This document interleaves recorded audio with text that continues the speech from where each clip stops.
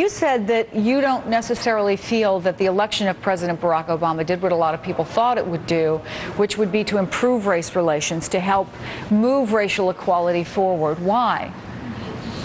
He, raised the hopes that he's been under such venomous attack. I mean, the, the captain of the ship is an African American who has taken us out of an economic crisis on an upward swing, but there are those who are willing to sink the ship just to destroy the captain. One would have thought that his election was a kind of a redemptive moment for America.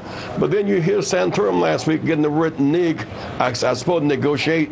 You hear his birthplace being attacked, his citizenship being attacked, his religion being attacked. So we've never known such a venomous reaction to an American president before. So it's not his fault, but certainly on his watch, we've seen this real ugly backlash.